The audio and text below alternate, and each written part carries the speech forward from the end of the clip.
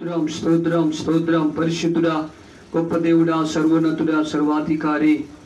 ఈ పునరుద్ధాన ప్రభు మేమందరం కలిసి కూడి చేరి ఈ నామాన్ని ప్రార్థిస్తుండగా శుద్ధిస్తుండగా ప్రభు ఈ కృపను అనుగ్రహింప చేయమని ప్రార్థన చేస్తున్నాను తండ్రి. పాటల ద్వారా ఆరాధన ద్వారా కీర్తన ద్వారా మీ నామానికి మహిమ తెచ్చుకున్నందుకు మీకు స్తోత్రాలయ్యా. వాక్య భావులకు వెళుతుండగా మా అందరితో మాట్లాడమని ప్రార్థన చేస్తున్నాను. నీ వాక్కు వాక్యం వంటిది పండను పగలగొట్టే శుద్ధ వంటిది నీ మాట ప్రభా ఈ మాట ద్వారా మమ్మల్ని బలపరచండి ఆదరించండి హెచ్చరించండి ప్రోత్సాహపరచండి ప్రభా మీరే సహాయం చేసి మహిమ పొందమని ఏసునామలు అడుగుచున్నాం తండ్రి. ఆమేన్. హలో దేవునికి స్తోత్రం కలుగును గాక. మన ప్రభు అయిన యేసుక్రీస్తు నామంలో కూడి చేరి ఉన్న మీ అందరికీ ఈ యూట్యూబ్ ద్వారా ఎంచున్న దేవుని బిడలైన వారందరికీ వచ్చవాయి పరిశుద్ధాత్మ అగ్ని మహిమ ప్రార్థనా మందిరం తరపున మీ అందరికీ ప్రభు పేరిట వందనాలు తెలియజేస్తున్నాం. అందరికి వందనాలు. వాక్య భవన్లోకి వెళ్దాం. యోగు గ్రంథం నలభై రెండవ అధ్యాయం.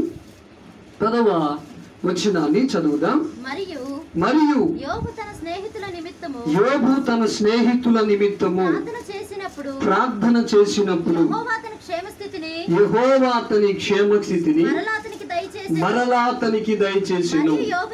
మరియు యోబునకు పూర్వము కలిగిన దానికంటే రెండంతలు అధికముగా యహోవా అతనికి దయచేసినో చాలండి. ఇక్కడ దేవుని యొక్క వాక్యం సెలవిస్తుంది ఏంటంటే యోగు ప్రార్థన చేసినప్పుడు ఏం చేసినప్పుడు అండి ప్రార్థన చేసినప్పుడని అక్కడ వాక్యం చదివిస్తూ ఉంది. యోగు ఒక ధనవంతుడే. ధనవంతు సంబంధమైన ఆలోచనలు యోగు జీవితంలో ఎన్నో ఉండుండొచ్చు. కానీ ఇక్కడ వాక్యం చెబుతున్న మాట ఏంటంటే ప్రార్థన చేసినప్పుడు యోబుకి మరలా దేవుడంట క్షేమ స్థితిని దయచేసిందంట అంటే ప్రార్థన చేయకముందు క్షేమ స్థితి లేదు.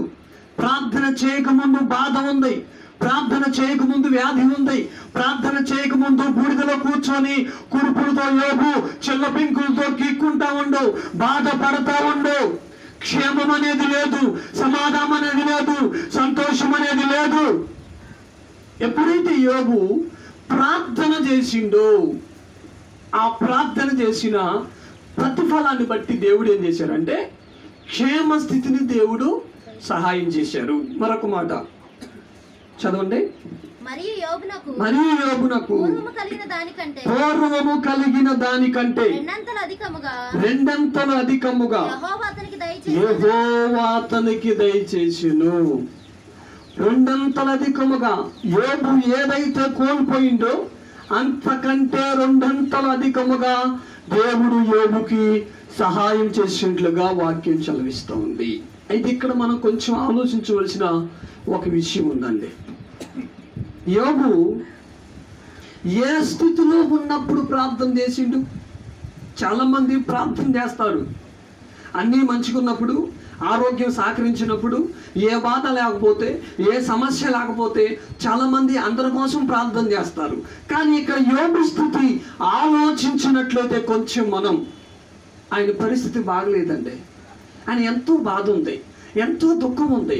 అసాదా అసమాధానమైన పరిస్థితి. అయినా సరే యోగు ఏం చేస్తాడో తెలుసా? ప్రార్థన చేస్తుంది తన స్నేహితుల కోసమే. కనుక ప్రియమైన దేని బిడ్డ నువ్వే స్థితిలో నువ్వు ఉన్నప్పటికీ సరే నీ స్థితుల గురించి నువ్వు ఆలోచించొద్దు నీ పరిస్థితుల గురించి నువ్వు ఆలోచించొద్దు. నువ్వేం చేయాలంటే ప్రార్థన చేయాలి. దేవునికి స్తోత్రం. హల్లెలూయా. సాతాను నీ పరిస్థితిని గురించే నీ నీ స్థితిని గురించే నీ సమస్యల గురించి చిన్న సమస్య అయినా భూతబ్దములు పెట్టి ఆలోచింపజేసేటట్లుగా ఆలోచింపజేస్తుంది.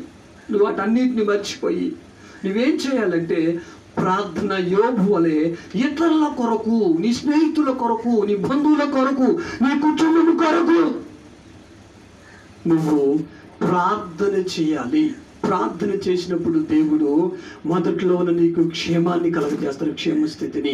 నువ్వేదైతే కోల్పోయి బాధపడుతూ వేదనతో ఉన్నావో తనంతటిని దేవుడు రెండంతలుగా దేవుడు నేను ఆశీర్వదిస్తాడు. ప్రియమైన దేని బిడ్డ మరొక విషయాన్ని జ్ఞాపకం చేసుకుందాం.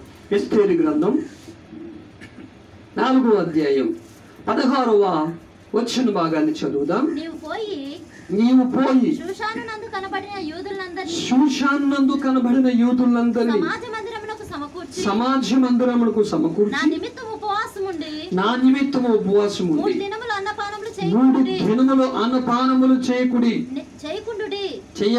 నేనును నా పనికత్తులను కూడా నా పనికెత్తలను కూడా ఉపవాసం ఉందము ఉపవాసముందు ప్రవేశించుట న్యాయ వ్యతిరేక్తంగా ఉన్నను. చాలండి.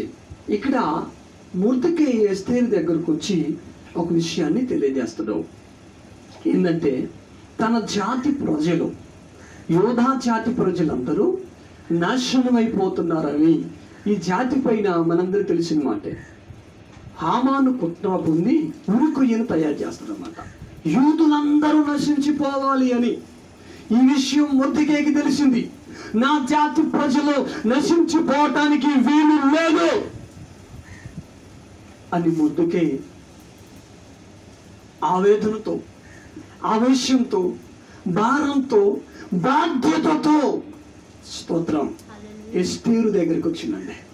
ఎస్తేరు దగ్గరికి వచ్చి ఈ విషయాన్ని అంతా తెలియజేసింది ఎస్తేరుకి. ఎస్తేరు కూడా యూదురాలే. ఎస్తేరు స్థితి ఏంటి? ఒక రాని స్థితిలో ఉంది. ఒకప్పుడు ఏమీ లేని అనాథ బాలికే కానీ ప్రియమైన దేని మిల్లరా స్టేజ్ పెరిగింది. ఒక మంచి స్థితిలోకి వచ్చింది. వచ్చినప్పుడు ఈ విషయం ఎప్పుడైతే తెలిసిందో వెంటనే స్పందిస్తూ ఉంది. ఈ దినాల్లో చాలామంది నీకు ఒకప్పుడు ఏమీ లేని స్థితిలో ప్రభు నిన్ను దీవించారు నిన్ను ఆశీర్వదించారు. ఒక ఉన్నతమైన స్థితిలోకి నువ్వు వచ్చావు. ఇప్పుడు పరిస్థితులు అనానుకూలంగా లేవని స్థితులు బాగలేదని తెలిసినప్పటికీ నాకేం పర్లేదులే అని ఇంట్లో కూర్చొని బిల్డింగ్లో కూర్చొని మేడల్లో కూర్చొని అన్నీ సమకూర్చుకొని ఉండటానికి వీలు లేదు. దైవజనుడిగా చెప్తున్నా. ఇస్తే ఏం చేసిందంటే మొత్తకేకి చెప్పి అక్కడ ఉన్న వారందరిని సమకూర్చి ఆ శూషోను కోటలో మూడు దినముల ఉపవాసం ఉండి ఎందుకు ఆ మూడు దినాలు ఉండాల్సిన అవసరం వచ్చింది. రాని కదా అన్ని ప్రశాంతంగా ఎంజాయ్ చేయొచ్చు. సంతోషం సమాధానమే. కానీ తను ఏ స్థితిలో ఉన్నదో ఏ స్థితిలోంచి దేవుడు ఏ స్థితిలోకి తీసుకొచ్చారో ఆ స్థితిని మర్చిపోలేదు ప్రేమేంది బిడ్డ ఒక ఉన్నతమైన స్థితిలో ఉన్నప్పటికీ తన జాతిని మర్చిపోలేదు. తన జాతి ప్రజలను మర్చిపోలేదు.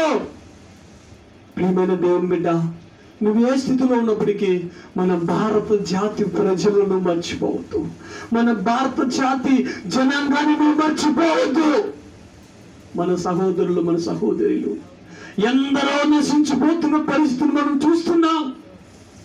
ఏం చేసిందంటే తన వారితో అందరితో కలిసి ఉపవాసం ఉండి మూడు దినములు ప్రార్థించటం ప్రారంభం చేసింది. ప్రార్థించటం ప్రారంభం చేసింది.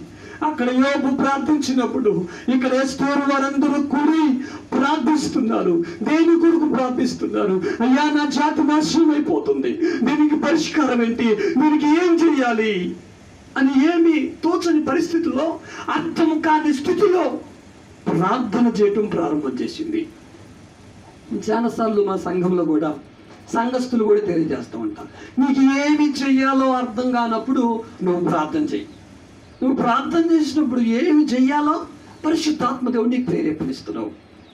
దేవునికి స్తోత్రం. ఇప్పుడు మనకి ఏమి చేయాలో అర్థం కాని పరిస్థితుల్లో మనం ఉన్నాం. కనుక ప్రియమైన దేవుని దైవ దైవజనుడిగా నేను మిమ్మల్ని బ్రతికిలాడి నేను చెప్పేది ఏంటంటే వందనాలు చెబుతూ చెప్పేది ఏంటంటే ప్రార్థన చేయాలి ఇస్తేరు ప్రార్థన చేసింది.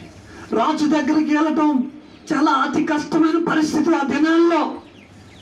అయినప్పటికీ సరే ప్రాణాలు తెగించి తన జాతి నశించిపోవద్దని ప్రార్థన చేసి ముందు అడిగేసింది.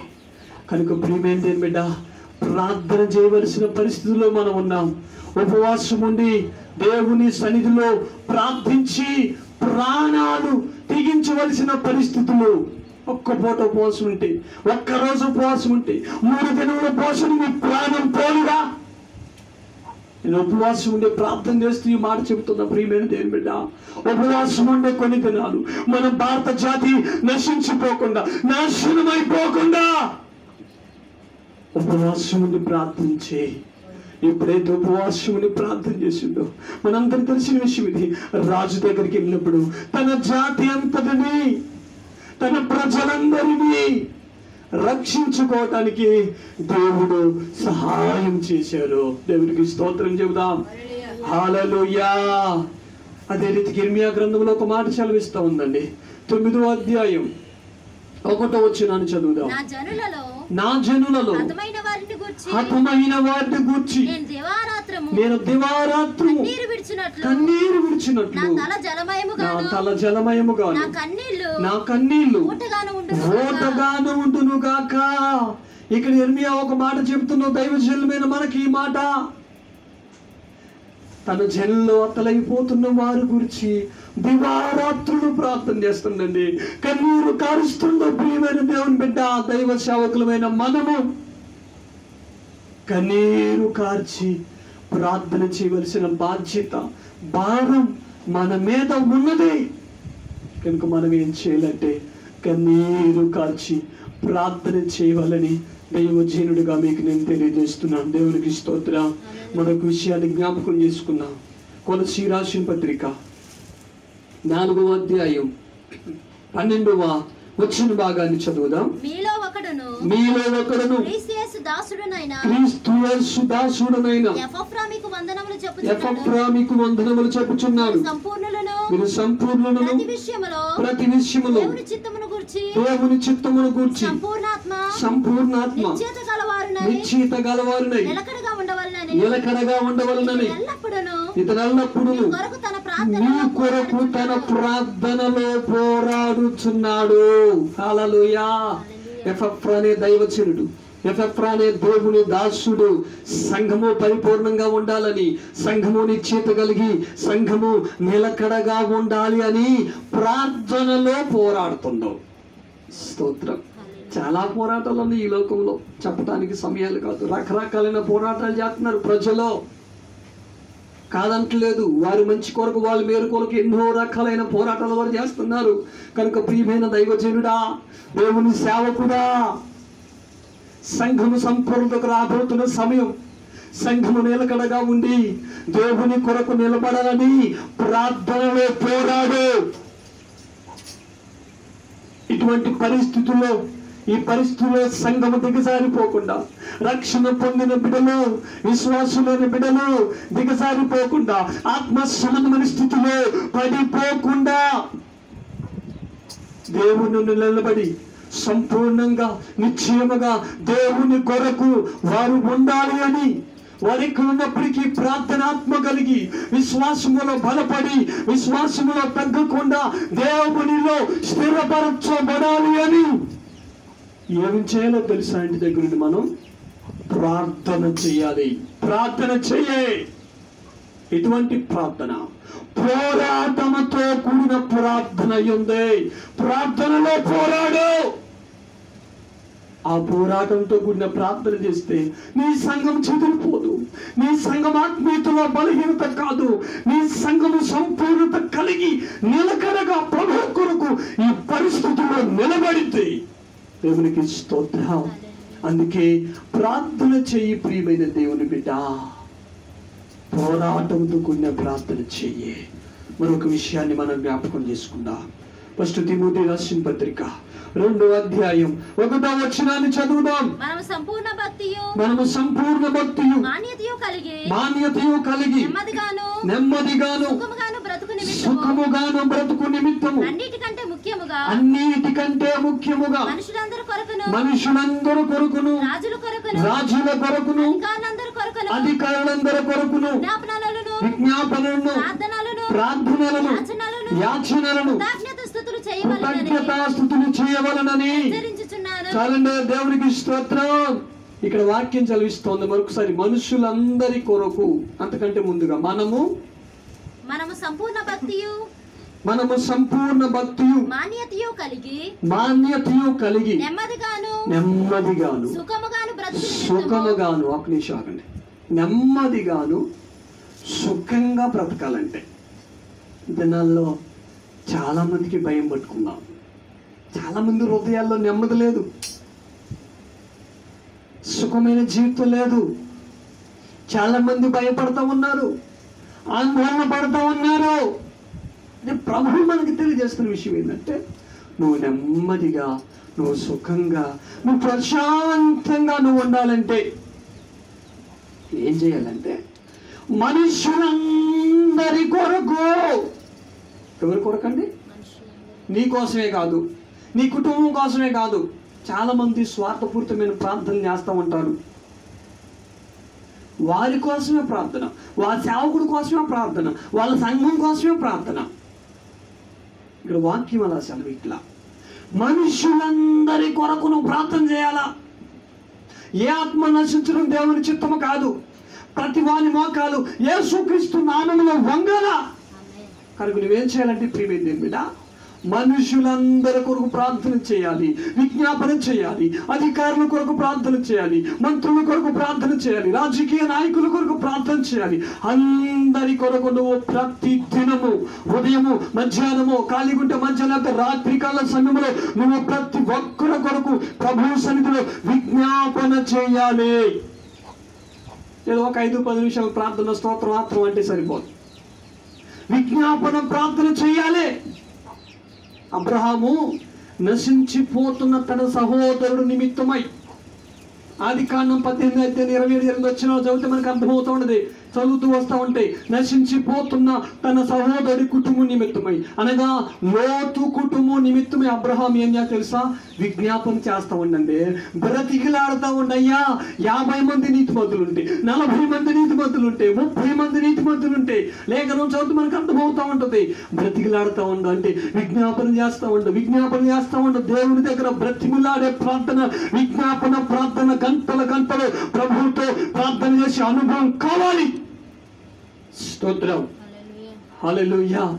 విజ్ఞాపన చేస్తాం ఎందుకు విజ్ఞాపన చేస్తున్నాం తెలుసా? ప్రియమైన తిన్నులరా సుధమ గుమర ప్రాంతం అంతా నశించిపోతుందని. నువ్వెందుకు విజ్ఞాపన చేయాలో తెలుసా? మనం ఎందుకు విజ్ఞాపన చేయాలో తెలుసా?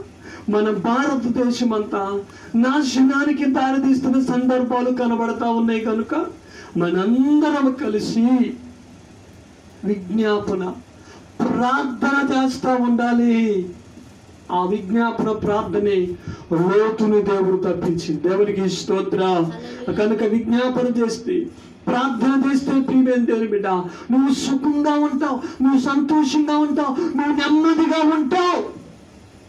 అంతేగాని ఎన్నో ప్రయత్నాలు చేస్తున్నాం ఎన్నో భద్రతలు ఎన్నో రీతులుగా ప్రయాసపడుతున్నావు మంచిదే కాదు అంటలేదు. కానీ నువ్వు సుఖంగా ఉంటే ప్రార్థన చెయ్యి ప్రార్థన చెయ్యే సుఖంగా ఉంటావు. దేవునికి స్తోత్ర. అలెలుయ్య అట్టి శాసనం దాని గ్రంథంలో ఆరు పదులు ఉంటుందండి. దాని గ్రంథం ఆరు అధ్యాయం పది వచ్చిన చదవండి